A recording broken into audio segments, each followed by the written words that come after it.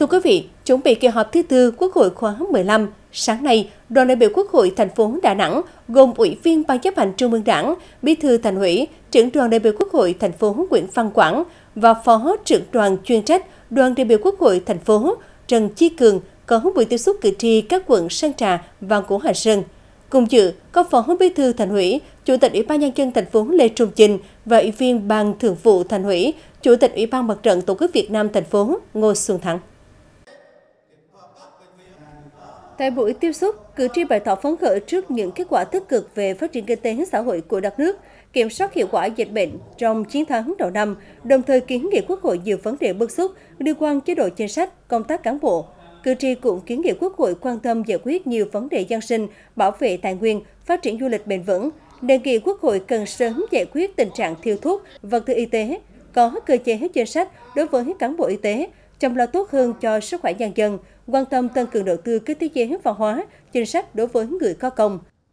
Ghi nhận các kiến nghị của cử tri, Bí thư Thành ủy, trưởng đoàn đại biểu Quốc hội thành phố Đà Nẵng Nguyễn Văn Quảng đánh giá cao những ý kiến, kiến nghị hết sức trách nhiệm, sát với thực tiễn yêu cầu phát triển của đất nước và thành phố của cử tri hai quận, giúp đoàn đại biểu Quốc hội thành phố có những thông tin đầy đủ phản ánh đến Quốc hội, các cơ quan trung ương, đồng thời thông tin làm rõ thêm đối với một số vấn đề cử tri quan tâm. Vấn đề cử tri rất quan tâm, mà quan tâm nhiều năm nay rồi, đó là cái chế độ chính sách đối với người hoạt động không chuyên trách ở xã phường. Đây là một trong những vấn đề mà không phải chỉ có cử tri của chúng ta, nhưng mà Đà Nẵng chúng ta là một trong những địa phương mà có kiến nghị rất là quyết liệt trong cái việc này và chính phủ đã có chỉ đạo và bộ nội vụ đang xem xét sửa đổi. Thời gian vừa qua thì uh, Hội đồng nhân dân thành phố cũng đã thông qua một số các cái cơ chế chính sách uh, mang tính có tính hỗ trợ cho người hoạt động không chuyên trách ở xã phường. Nhưng cái này thì nó cũng chưa phải là những vấn đề có tính chất à, căn cơ. Và với trách nhiệm của đoàn đại biểu quốc hội thành phố thì chúng tôi xin hứa là sẽ tiếp tục kiên trì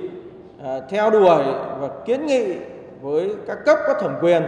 về cái nội dung này.